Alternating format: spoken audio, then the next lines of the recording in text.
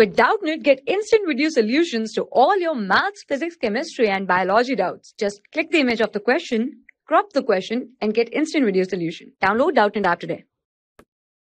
When a positively charged particle is released from rest in a uniform electric field, the electric potential energy of the charge.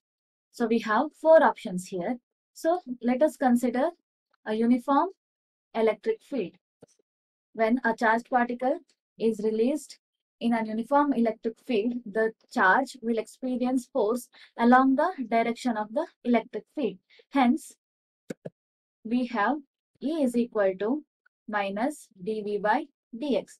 Now dx is increasing because the charge is moving in the direction of the electric field. Hence, dx will be positive.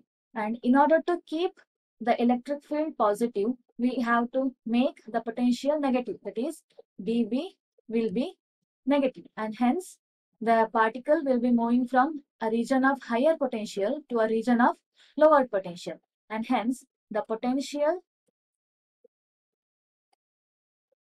decreases.